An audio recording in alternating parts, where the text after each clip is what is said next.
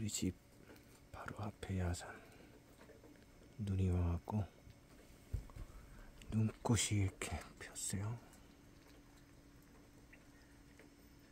지금도 눈이 오고 있어요.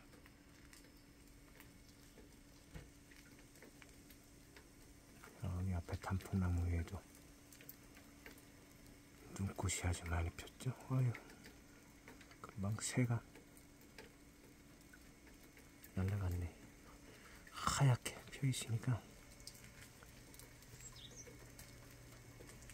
눈꽃이 하얗게 펴 있으니까 새들도 날아가는 게 보이네.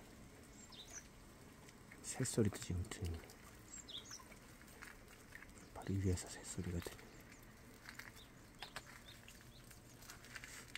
우리 집 깜돌이 지붕에도 눈이 이렇게 수북하게 쌓여 있습니다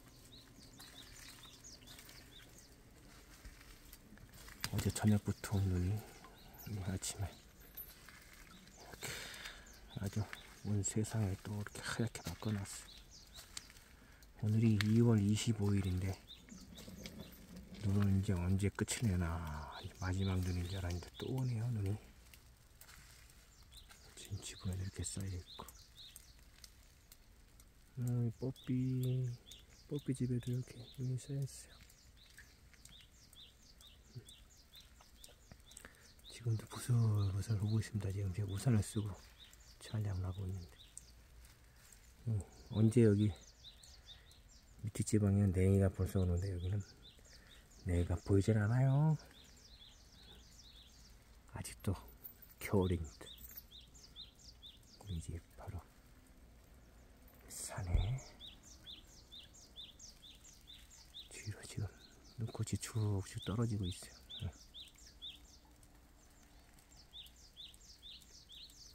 깜다리도 밥 먹다 나왔네. 목소리 듣고. 응, 눈꽃이 지금 떨어지네. 물 먹는 거야? 찍찍찍찍 소리 들리죠? 새소리.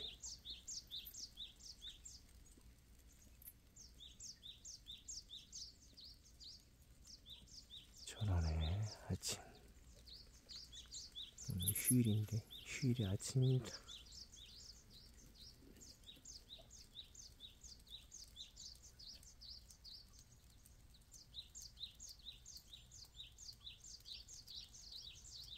멀리 사막산도 눈 때문에 보이지가 않네요.